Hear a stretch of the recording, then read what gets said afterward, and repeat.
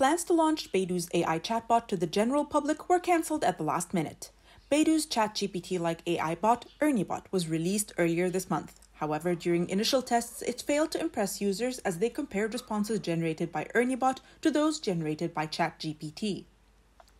The lukewarm response resulted in Baidu's shares tumbling as much as 6% in afternoon trading, but they rebounded, bolstered by strong demand. According to a company statement, some 120,000 companies were interested in generative AI, which is the main reason they opted for a closed door meeting rather than a live streamed public launch. ErnieBot is capable of carrying out mathematical calculations, speaking Chinese dialects, and generating video and image with text prompts. In fact, generative AI has broader industrial applications, making it a valuable tool.